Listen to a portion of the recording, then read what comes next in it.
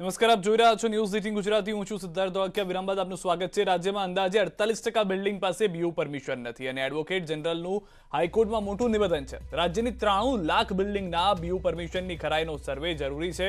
પ્રાથમિક અંદાજ પ્રમાણે અડતાલીસ ટકા બિલ્ડિંગ પાસે બીયુ પરમિશન નથી.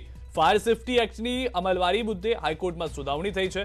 હોસ્પિટલ, સ્કૂલમાં બીયુ અને ફાયર સેફટી સરકારની પ્રાથમિકતા છે. વીસ વર્ષથી નથી થતું કાયદાનું પાલન. અરજદારે આ વાત કરી છે. તો કોર્ટના આદેશ છતાં ગોકળ ગતિથી કામ થતી હોવાની વાત પણ અરજદારે કરી છે. ઓગણત્રીસ નવેમ્બરે હાથ ધરાશે સુનાવણી.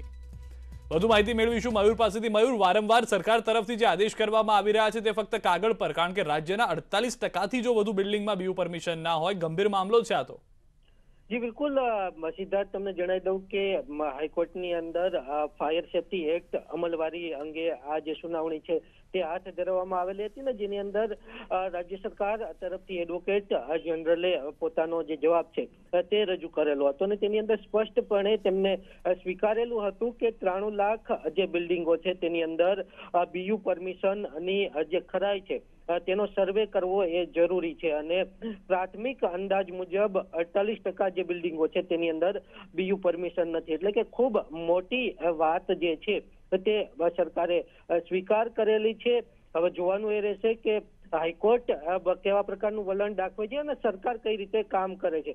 પરંતુ જે અરજદારે જે રજૂઆત કોર્ટ સમક્ષ કરેલી તેની અંદર અરજદારે પણ કહેલું કે રાજ્યની અંદર છેલ્લા વીસ વર્ષની અંદર આ જે કાયદો છે તેનું જે- શાસન છે તે પાલન નથી કરતું.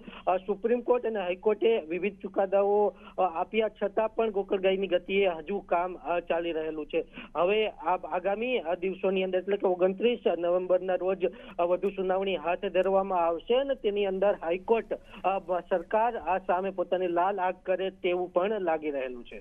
આભાર મયુર સમગ્ર માહિતી બદલ. તો હાઈકોર્ટ ઓગણત્રીસ નવેમ્બરે વધુ સુનાવણી હાથ ધરશે અને સૌથી મહત્વની વાત જે રીતે હાલમાં મયુરે કરી તે રીતે જો વધુ પગલાં લેવામાં આવે તો પણ નવાય નહીં. હાઈકોર્ટ દ્વારા પણ. આ તરફ અમદાવાદમાં ડ્રાઇવિંગ લાયસન્સની ટેસ્ટની એપોઇન્ટમેન્ટની તારીખમાં ફેરફાર થયો છે. વીસ નવેમ્બરની એપોઇન્ટમેન્ટની સત્યાવીસમી શિફ્ટ કરાય છે. જેમણે વીસ નવેમ્બરે જવાનું હતું, તેમણે હવે સત્યાવીસમીએ જવાનું રહેશે. સુભાષ બ્રિજ આરટીઓ તરફથી આપવામાં આવી છે જાણકારી. ટેકનિકલ કારણોસર આ તારીખમાં બદલાવ કરવામાં આવ્યો હોવાની હાલમાં પ્રાથમિક જાણકારી છે. અમદાવાદમાં એક તરફ કોરોનાના કેસમાં વધારો થઈ રહ્યો છે, સાથે સાથે બીજી તરફ અન્ય રોગના કેસમાં પણ વધારો થઈ રહ્યો છે. છેલ્લા સત્તર દિવસમાં ડેન્ગ્યુ અને ચિકનગુનિયામાં ત્રણસોથી વધુ કેસ અમદાવાદ સિવિલમાં નોંધાયા છે. જેમાં ડેન્ગ્યુના એકસો સત્યાવીસ, ચિકનગુનિયાના સત્તાણું, હેપેટાઇટિસના એંશી કેસ નોંધાયા છે. શહેરમાં પાણીજન્ય અને મચ્છરજન્ય રોગોમાં વધારો થયો છે. સત્તર તારીખ સુધીના જો આંકડા જોવા જઉં છું, તો એ ગયા મહિના કરતાં ઘણો બધો કંટ્રોલ છે. એટલે કે ખાલી એકસો ને સત્યાવીસ દર્દી અત્યાર સુધી ડેન્ગ્યુ સાથે આવ્યા છે અને એ ગયા મહિના કરતાં ઘણા ઓછા છે. એટલે હું એમ કહીશ કે આપણે એના પર બી ધીરે ધીરે કાબુ મેળવી રહ્યા છીએ. જેવું કોરોના છે, એવા જ આ મચ્છરજન્ય અને પાણીજન્ય રોગો છે, જેને આપણે પ્રિવેન્ટ કરી શકીએ છીએ. આપણે પોતે એમાં યોગદાન આપવું પડશે, પોતે ચોખ્ખાઈ રાખવી પડશે. રાજ્યમાં કોરોનાના કેસ વધતા આરોગ્ય વિભાગ સતર્ક થયું છે. અમદાવાદ સિવિલ સુપ્રિન્ટેન્ડન્ટનું મહત્વનું નિવેદન છે. આંકડા વધી રહ્યા છે, પણ ચિંતાજનક સ્થિતિ નથી. આવતા અઠવાડિયે વાસ્તવિક સ્થિતિ ખબર પડશે. મોટાભાગના દર્દીઓ હોમ આઇસોલેટ હોવાથી સિવિલમાં દર્દીઓ ઓછા છે. અમદાવાદ સિવિલમાં હાલ એક પોઝિટિવ દર્દી દાખલ. સિવિલ હોસ્પિટલમાં ચાર શંકાસ્પદ દર્દીઓ પણ દાખલ.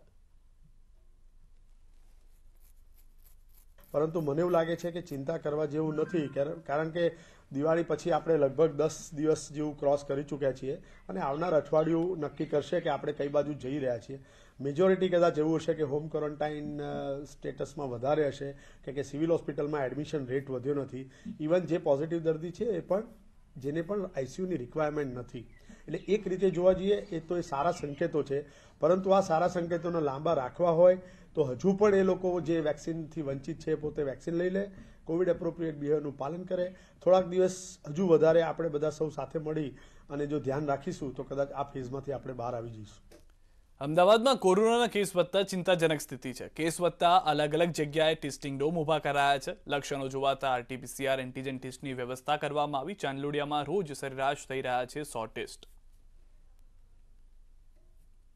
ચાંદલોડિયામાં યુએચસી પર અને સિલ્વર સ્ટાર પર ટેસ્ટિંગના ડોમની શરૂઆત કરવામાં આવી છે અને લક્ષણો જણાય એવાના માણસોના ટેસ્ટ કરવામાં આવી રહ્યા છે અને એ માટે જરૂરી અપીલ કરવામાં આવે છે કે તમે લોકો કોઈ બી લક્ષણ જણાય તો ટેસ્ટ માટે આ બંને જગ્યાએ આવી શકે છે કે અર્લી ડિટેક્શનથી એ લોકોને ટ્રીટમેન્ટ કરી શકાય.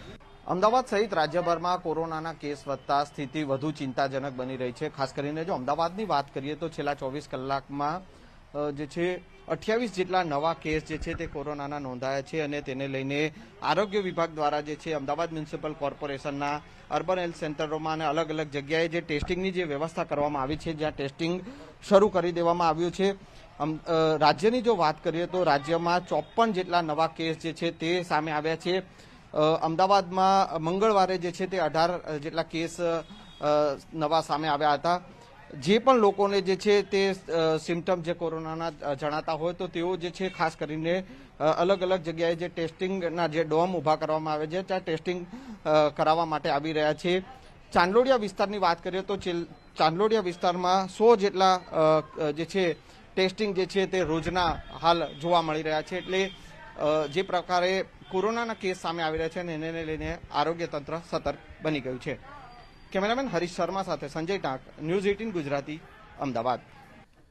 રાજ્યમાં વધતા કોરોના કેસ મામલે આરોગ્ય મંત્રી ઋષિકેશ પટેલે આરોગ્ય વિભાગના અધિકારીઓ સાથે બેઠક કરી અને કયા કયા વિસ્તારમાં કેસ વધી રહ્યા છે તેની માહિતી મેળવી આગળની કાર્યવાહી કરવામાં આવશે તે વાત કરી. અને રાજ્યમાં મોટાભાગના કોરોના પોઝિટિવ દર્દીઓ ઘરે સારવાર લઈ રહ્યા હોવાની પણ વાત કરવામાં આવી છે.